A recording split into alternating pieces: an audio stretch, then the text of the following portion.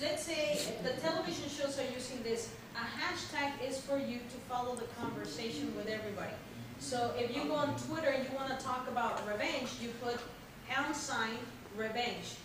Just watching pound sign revenge. So if you wanna see what everybody's talking about revenge, you hit on the search engine pound sign revenge. Right, and you're gonna see what everybody's saying. That's a hashtag. It creates a conversation. McDonald's just got, just got burned with a hashtag that they created. It came right back at them. It was horrible. So in your case, if you wanna make announcements, you just tweet, um, new article about SEO, check it out, and then you put the link, and you tweet that out. Make sure it's no longer than hundred and twenty, it's a very cheap, um, tool also for you guys to use Twitter, and you can brand it also. Like if you go on Twitter and you wanna, uh, wanna put a link to your website or something, it's called Market Me Suite. So just Google that, Market Me Suite. It's a lot of tools out there, but I like this because of the way you can brand it, okay? So imagine that you're just whispering a little, a a little tip, okay? And you can tweet as much as eighteen times per day, and people are okay with that. They don't think of you as a spam, eighteen times. Now, everybody has a sweet spot, two factors, the audience, okay? That's what's going to determine how many tweets they will take before they consider you your, um, spam.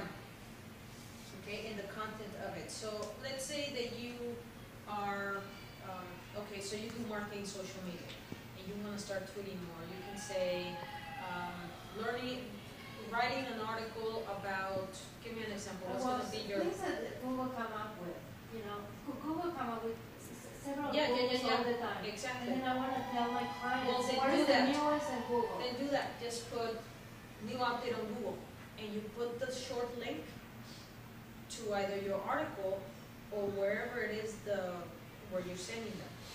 So it's pretty much just giving them a little tease. Think about it like, do you go fishing? I know what it is. Okay, well, imagine you're throwing out there the tweet, and you're just giving them a little, a little bait. So they go somewhere else to read about it. So let's say about Google updates, that's a great topic because most people don't do. So you can say, Google just changed blah, and then you put the link to it, and it could be your article, all right? And that's what you do, that's how you do Twitter. It's small little, you gotta think about saying the most important thing, which is those hundred and twenty characters, and including the link. So then they can retweet it, because if they retweet it, people will come back to you and follow you because they see you as an authority. And that's the organic, um. That's how you grow. Now, if you guys use Market Me Suite, and we'll go over that, I guess, at the class, I'm gonna have to add that. I'm gonna take a. What's some, is a tool to teach you what, the market you No, to use Twitter. Okay.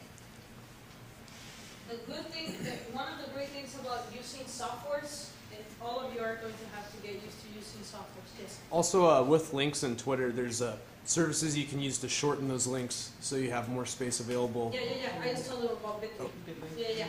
The other thing that I wanna add about Bitly is that you can actually track how many people click on that link, and that's a very good thing. You wanna see what the response is. Because let's say that you have a hundred people and five response, well, you start to get a, you know, data. Data is always, it's always key. Um, did I give you enough information about Twitter? Yeah, it's not that difficult, you just gotta, if you're, and the, probably what's difficult for you is that if you're an article writer, you are used to many words. And then you go into microblogging and you're like, ah, I don't know what to say, it's too little. That's where you get frustrated probably, so just get used to saying the main title of what it is, and those hundred twenty characters plus your link, and boom, you send it out. Okay, and just keep, keep in mind that you can tweet, tweet up to eighteen times, you don't have to, mm-hmm. just don't go over the eighteen times. And always send valuable, you can ask, you can ask questions and create a hashtag, like for say, what would you like to know about uh, mark, online marketing this week. And then how? what's your company name? Just, your name. We'll create a hashtag about the conversation. It could be JC Tips. At JC Tips. So everybody's going to respond at JC Tips. I want to learn about, and then you start a conversation there. I don't have a, I don't have a board here to explain all of that to be more visual okay? I, I should have it at the class, I always have one at the. Well, is Twitter, like that, is it still keywords are important, or is it about the individual? No, it's about, it's about who follows you. The keyword, the keywords, it's important in your description. Okay? The keywords are important in your description. Like for say, in mine say the same thing, online marketing, social media strategies. Okay? On Twitter, on your description, but the conversations, no. Two major things in Twitter is make sure that you only write hundred and twenty characters, make sure that it's to the point, make sure you redirect them. It could be a photo. You know, Twitter now is taking on photos, so you can upload a photo and then tweet about it. Okay, like at your location. You know? I did a lot of that at the Grammys when I went. So, Yeah. Hey, I just, So- I, yeah, so, great deal, I made this much amount of, that's a great tip. I made this amount of, amount of money, and then you take a picture of it, with the check, mm-hmm. and you tweet that. You know, everybody's gonna say, man, this girl is making deals, you know, this guy is making deals, you know? So it's like just. Your um, repair company is like, oh man, I just did this job, it was really complicated, but I had a, a, a happy customer, you know? And then a photo, and everybody can see the photo. So it's just like some bait. Yeah, just Yes. little, little blurbs, little tiny blurbs. That's, that's the thing that you got, it's difficult sometimes because you wanna say so much, but like if you incorporate that and then send them somewhere else, that's really how the Twitter conversation works better. Okay, mm-hmm. you found a great article about owner repairs, tweet that out with the link. Hey, just wanted everybody about tip of the week. Okay, or every Monday. Okay, I need to say this talking about Mondays. Do you guys know what's the number one online marketing failure, or marketing failure for most entrepreneurs? Time of the week? Wrong day, wrong time. No? Well, I was gonna say about the same thing. The- Mhm. The day of the Anybody? week, the day of the week. Come on, people. You guys are all entrepreneurs. No calendar, no marketing calendar. Most entrepreneurs are just, oh, I gotta send an email. Oh, I gotta tweet. Oh, I gotta post on Facebook. Nope. No one, Fortune five hundred companies know what the hell they're gonna do the, the year later, by December. So, Sear, uh, Coca-Cola knew what they were gonna do for the entire year by December of going like for this year. That's the biggest problem. Now, I'm not telling you sometimes you need to send something at the last minute, right? It happens. We are creative people. But not having a calendar and taking advantage of major holidays, of, um, uh, I don't know, cycles, like in real estate, I'm trying to think about real estate. So, yeah. Well, yeah, of course, major holidays. Okay, you need to start thinking about, you need to know like a magazine, they know what the editorial is going to be in November, right? Because, I don't know, the fashion shows are coming. So you gotta have a calendar. I, I run a, I advertise off of Craigslist Mm-hmm, and I do voice shot campaigns. mm-hmm, So I take all the, for, in my case, all the for rent advertisements and I package them up. And then on Fridays or even Sundays, and I shoot them out to be delivered on Monday mornings mm-hmm. at nine AM. And what I wanna do, I don't want anyone to answer the phone. uh-huh, So therefore, by the time the prospective client comes home, uh-huh. it's on their voicemail. Yeah, but that's a schedule that you have. That's not your calendar strategy.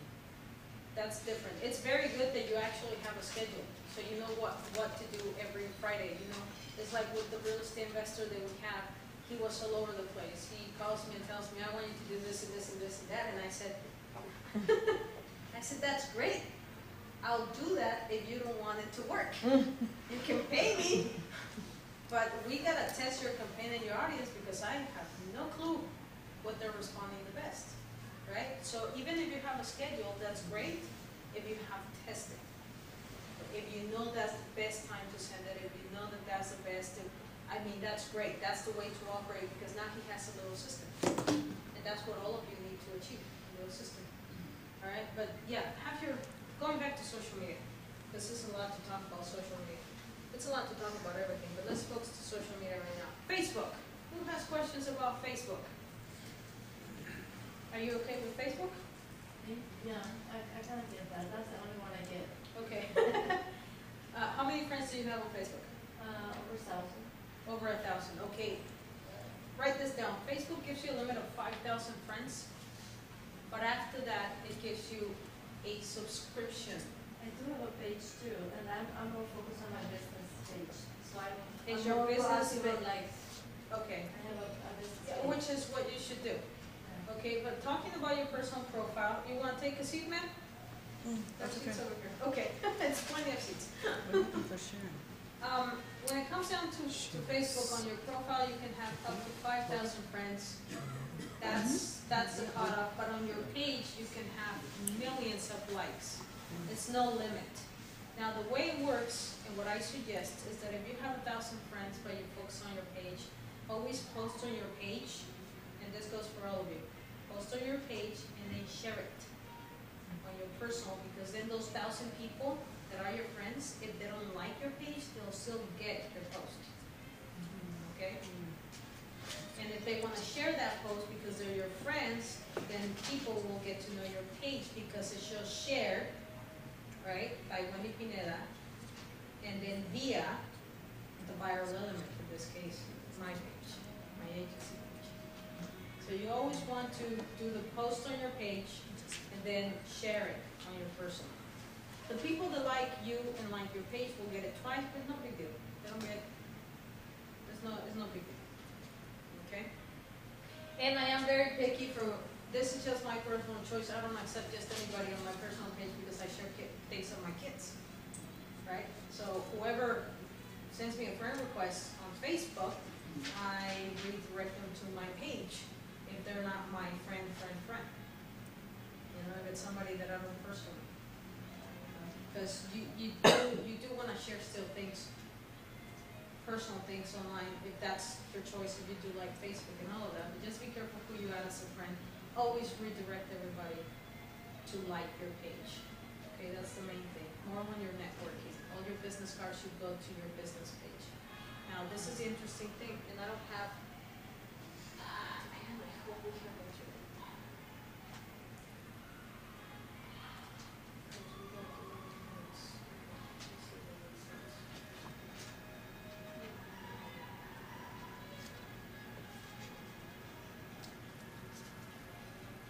should have, I should have just. installed Timing out again? modem.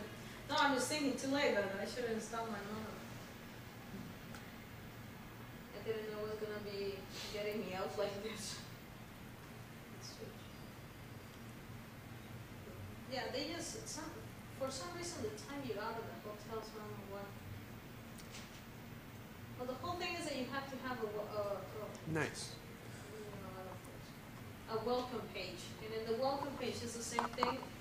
You see, asking me for a promo code. You're talking that on your You just website. click connect no, it I'm and talking it'll about work. Facebook Facebook, pages.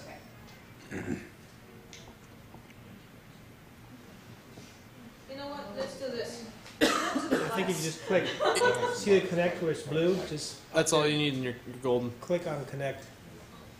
And there might be a little thing right up above that, well, not there, but. On the page. In the very middle of the screen, Connect the group box. Oh, no, I know, but it's asking for a promo code on this one. oh, that one it is, okay.